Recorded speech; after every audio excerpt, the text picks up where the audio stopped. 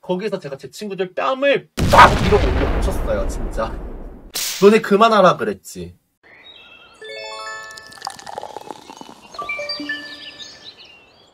호시국 전이에요. 클럽을 갔다가 초원 식당을 가고 있었을 거야.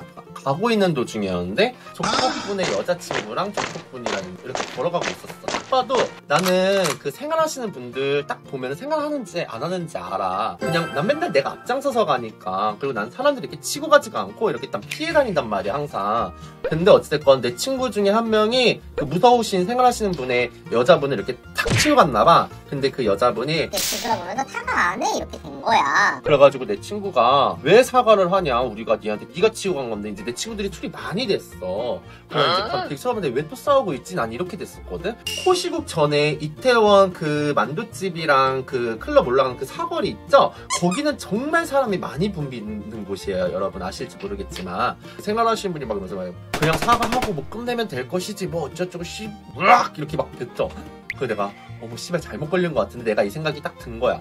그래서 내가 내 친구한테 왜 그래? 이랬는데 이제 내 친구 한 명이 지가 먼저 치웠으면서 우리 보고 사과하려잖아. 막 이러니까 이제 그 생활하시는 분이 갑자기 이러는 거야. 뭐 얘가 뭐지? 뭐? 이러면서 그러니까 제가 어, 죄송합니다. 제 친구들이 좀 실수했나 봐요. 난 이렇게 또 말리고 있었어.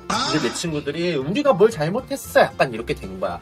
그 생활하시는 분이 이제 그 근처에 또 동생들이 있었나 봐. 이제 그분들한테 우리 쪽 있는 데로 오라고 한 거야. 그래서 내가 일이 존나 커지겠다 내가 생각이 든 거야. 그래서 내가 정말 죄송하다고 죄송하고 저희가 제 친구들이 못 보고 못 보고 이렇게 치고 간 것 같다. 저- 그쪽은 됐고 니 자기 친구들 데려오라고 데려와서 얘기 좀 하자 막 이렇게 된 거야. 근데 내 친구들은 이제 뭐 지금이 어떤 시대인데 무슨 뭐뭐 생활이 뭐 조폭이고 뭐 그쪽 이런 게 뭐가 약간 애들이 약간 이렇게 된 거야.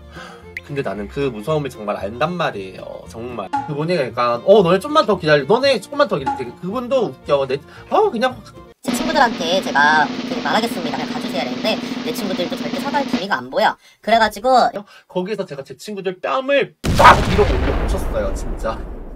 너네 그만하라 그랬지. 그때 애들이 이제 맞고 이렇게 벙찐 거야. 그만해. 잘못했다고 한마디 하면 되잖아. 애들은 이제 놀랬지. 맞은 애는 놀래고 옆에 있던 애는 이렇게 쳐다보고. 여기 내가 알아서 할 테니까 너네 올라가. 그 죄송하다고 한마디 해. 그랬더니 걔가 우리가 내가 해 빨리. 또 맞을래? 죄송합니다. 이렇게 된 거야. 그 부분이 더 놀란 거야. 내가 정말 죄송해요. 제 친구들이 아, 술이 많이 터- 취해서 그런가 봐요. 이렇게 내가 어, 어 내가 친구 봐서 어, 그냥 지나가는 거야. 알았지? 제가 제 친구들한테 다음부터 꼭 조심하라고 말할게요.